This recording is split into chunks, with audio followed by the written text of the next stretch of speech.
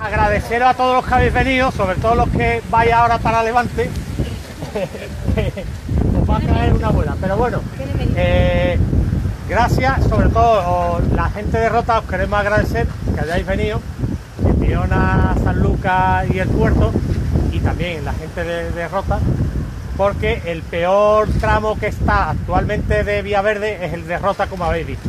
Los puentes no se pueden pasar, ha habido problemas, se lleva reivindicando muchos años ya la vía verde entera desde el puerto de Santa María hasta Sanlúcar, con escaso éxito, pero bueno, seguiremos ahí. Y ya lo último que ha pasado es el problema este que tenemos con, con los puentes, que es que se ha desplazado los pilares, la, bueno, perdón, la pasarela respecto de los pilares y le han tenido que cerrar. Esto está en un estado deplorable, se ha comunicado al ayuntamiento y bueno, pues no se hace absolutamente nada.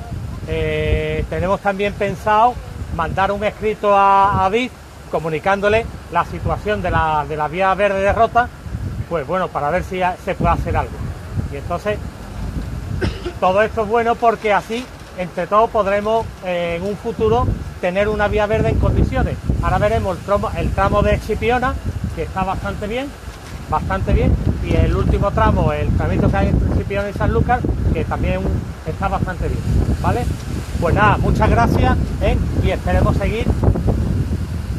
Lo que esperemos es no tener que hacer más estas marchas y que esté la vía verde entera de terminar. Ha habido últimamente, Javier, tú lo comentas lo del estudio de factibilidad. Lo comentaré. Vale, bueno, pues nada, eso es todo y por eso hemos tenido que dar dos vueltas porque hemos tenido que salvar los dos puentes que hay, ¿vale? verde ya, vía verde ya, vía verde ya, vía verde ya, vía verde ya.